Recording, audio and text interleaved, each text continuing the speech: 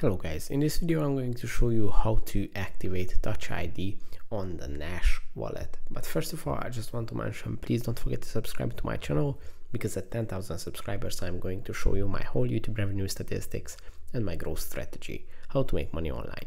So let's jump into it. First, open the Nash wallet, then go to the settings menu.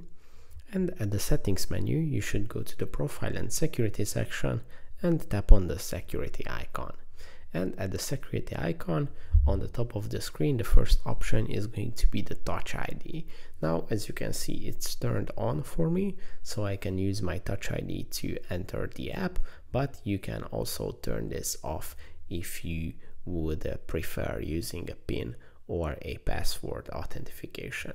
So that's pretty much it for this video. I hope it was helpful for you. If it was please consider subscribing and see you in the next one. Bye bye